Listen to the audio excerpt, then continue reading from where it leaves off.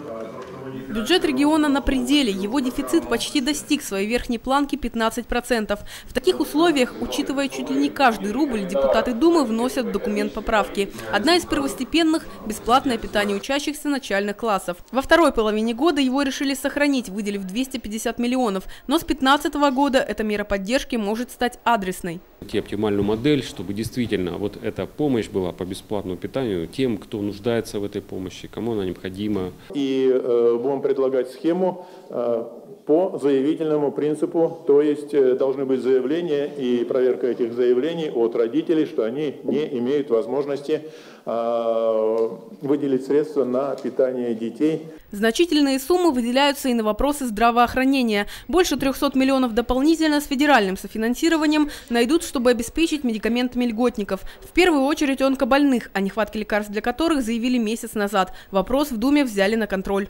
В сентябре месяце вернуться к рассмотрению и посмотреть, да, достаточно ли те меры, которые мы предпринимаем сейчас. В финансовом смысле, ну и как правительство исполняет их а, непосредственно по реализации. Еще 40 миллионов выделят на начало проектирования областной клинической онкобольницы и больше сотни распределят по учреждениям региона на усовершенствование оказания помощи пострадавшим в ДТП. Это хирургическое оборудование, наркозное оборудование – это специальные виды, так сказать, исследований, имплантов и тому подобное. Порядка 200 миллионов направят на компенсации затрат железнодорожникам. Чтобы снизить в дальнейшем эти суммы, ведется работа по анализу пассажиропотока и модернизации системы пригородного транспорта, поясняют в правительстве. Ожидают в бюджете и прибавлений. Около сотни миллионов дополнительно рассчитывают получить от штрафов ГИБДД. Ирония в том, что на рассылку писем счастья требуется еще 20 миллионов рублей из казны.